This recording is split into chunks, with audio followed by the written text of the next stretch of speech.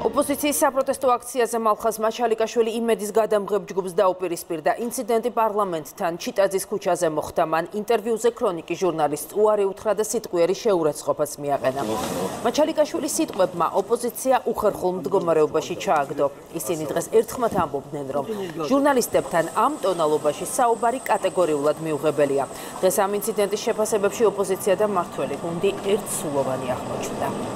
რასაც მე გაუდივარ აი ეს ხოვრება გაევლოს თელი ქართული ოცნების შთამომავალმა და მის მოდგომ და იმ იმედმა იმ იმედის რეპორტიორება იმ იმედის წარმომადგენლება ტელევიზიას მოდის.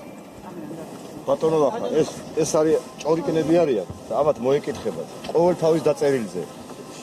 კანონით მოეკითხებათ კანონით. მე თქვენ არავის ინტერვიუს არ მოგცეს სანამ სანამ ხედავ ამ ამ ამ უსურცხვილო ამ უსურცხვილო უნამუსო ტელევიზიას. ბოიკოტ იმეს გულისხმობ. მოაშორ მოაშორეთ ეგ ტელევიზია ეხლავე ეხლავე სადღაც შეგატენ მაგ მიკროფონს ყველაზე ბევრად ვიცი დღევანდელი ქართული ოცნების სიბინძურე დღევანდელი ყველა იმ სტრუქტურის სიბინძურე, დღევანდელი პროკურატურის, დღევანდელი საზამართლოს სიბინძურე.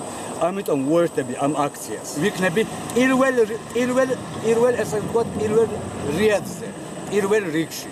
ყველგან და ვეცდები ყველანაირად პირდაპირ ამ სიტყვის ნიშნულობით გავანადგურო ქართული ოცნება. არ მინახავს ნამდვილად, უნდა ვნახო რას გულისხმობთ ხო არ ყოფილვარ აქ ეხლა ამოვედი და თქვენ გამესმის პირველად ხო მე ერთი რამ მინდა თქვა რომ მალხაზ მაჩელიკაშვილი მართლაც ძალიან უსამართლოდ დაჩაგრა ხელისუფლებამ და ჩვენ მას გვერდში უდგავართ მის პროტესტში.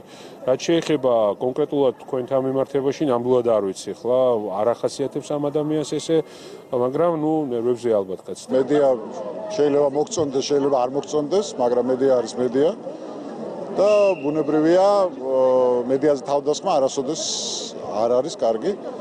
თუმცა ეხლა მე ბატონი მალხაზის მაგივრად ვერ გაგცემთ ამ კითხვაზე პასუხს. ძალიან ძიმე მდგომარეობაშია ბატონი მალხაზი ასე რომ ეხა რთულია მისი განსჯა იმ მდგომარეობაში, ამ მდგომარეობაში სამხელისფლოებამ ჩააგდო. მე აბსოლუტურად მესმის, რომ ეს არის შუამკვდარი мама და არის გამწარებული და გაღიზიანებული, მაგრამ მეორე მხრივ სხვა ადამიანებს აქვს თავისი უფლებები და მე მგონი ჟურნალისტებს არაფერი არ დაუშავებიათ საიმისოთ, რომ ესე მიმართვას იმსახურებდნენ პირიქით, ესენი არიან ადამიანები, რომლებიც 24 საათიან რეჟიმში ჩაუხრელად მუშაობენ, იმისთვის რომ საზოგადოებას მიაწოდონ ინფორმაცია და ასე ასეთი დამოკიდებულება, ასეთი მიმართვა არც ჟურნალისტების და არც სხვა ადამიანების მიმართ არავის არ ეპატიება. ყველამ უნდა დაიცვას ჟურნალისტთან ურთიერთობის, მასთან მოპყრობის წესები, ესახება თანაბრად როგორც პოზიციას, ასევე ოპოზიციას, როგორც პროტესტანტებს, ასევე სამართალდამცავებს, კან ქვეყანაში მოხდებს სპეციალური კანონი, რომელიც იცავს ჟურნალისტთა უფლებებს,